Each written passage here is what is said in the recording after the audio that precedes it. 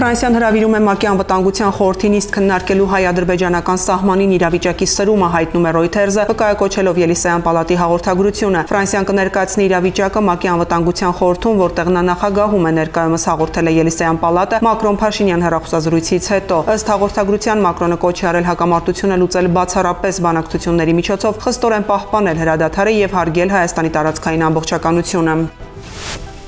Եվրամիությունը կոչ է արել դադարեցնել մարտական գործողությունները հայ-ադրբեջանական սահմանին եւ վերադառնալ բանակցությունների սեղանի շուրջ։ Բոլոր ուժերը պետք է վերադառնան այն դիրքերը, որոնք զբաղեցնում էին մինչև սրացման պահը եւ հետևեն հրադադարի ռեժիմին։ Նշված է Եվրամիության դիվանագիտության ղեկավար Ջոզեփ Բորելի հայտարարությունում։ Եվրամիության հատուկ ներկայացուցիչ Տոյվո Կլարն անմիջապես կմեկնի երկու երկրներ, որպեսզի աջակցի սրացման անհրաժեշտ թուլացմանը եւ քննարկի Բրյուսելում Հայաստանի եւ Ադրբեջանի ղեկավարների միջև երկխոսության գործընթացի հաջորդ քայլերը, հավելել է Բորելը։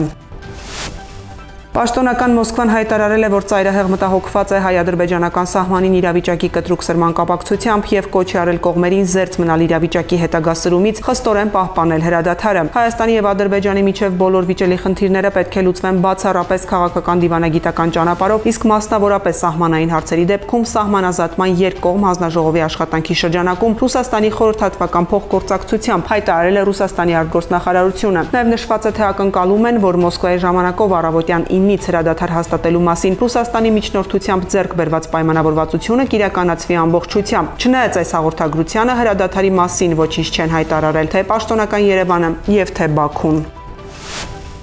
ՀԱՊԿ-ն անընդունելի է համարում ուժի կիրառումը Հայաստանի եւ Ադրբեջանի սահմանին։ Այս մասին նշվել է ՀԱՊԿ-ի քարտուղարության մեկնաբանությունում։ ՀԱՊԿ-ի հավաքական անվտանգության խորհրդին Հայաստանի Հանրապետությանը օգնություն ցուցաբերելու մասին հայկական կողմի դիմումի առնչությամբ կազմակերպվել է ՀԱՊԿ-ի մեխանիզմների գործարկման աշխատանք իրավիճակը կարգավորելու համար։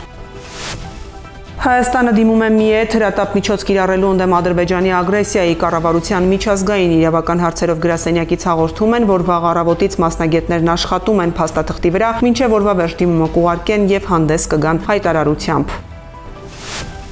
Հայաստանի նախաձեռնությամբ այսօր Երևանի ժամանակով ժամը 19-ին տեղի կունենա ԵԱՀԿ մշտական խորհրդի հատուկ նիստ այս մասին հայտնել է Հայաստանի արտգործնախարարության խոսնակ Վահան Հունանյանը։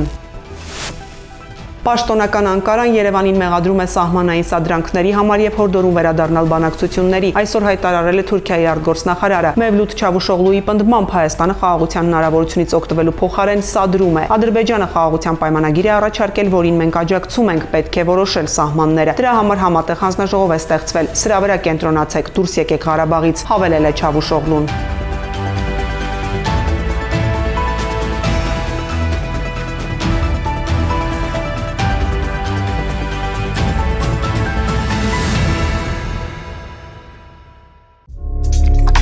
Բաժանորդագրվեք Armdeli լրատվական կայքի նոր YouTube-յան ալիքին։